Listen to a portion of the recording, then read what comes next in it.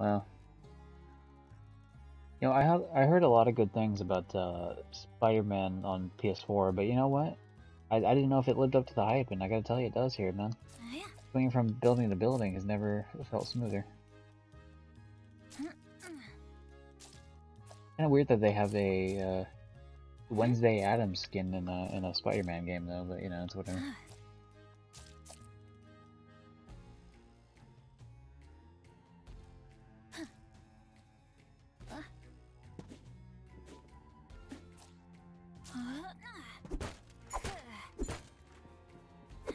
See, you know, you got your classic hmm? Spider-Man kicks and punches. Using his web to break things. It's all here, man.